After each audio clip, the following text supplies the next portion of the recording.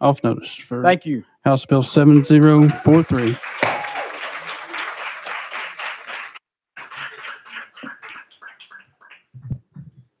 Are we going to quiet down and listen, or are we going to sit there and clap?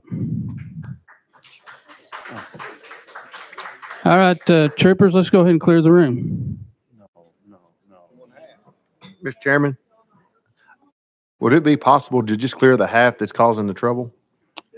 I don't know that we can determine the half, so let's just clear the room. No, they had, this is their third time.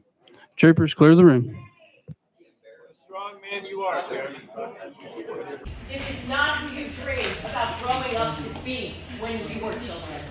Ma'am, these are Covenant school parents. They should have been able to stay in here.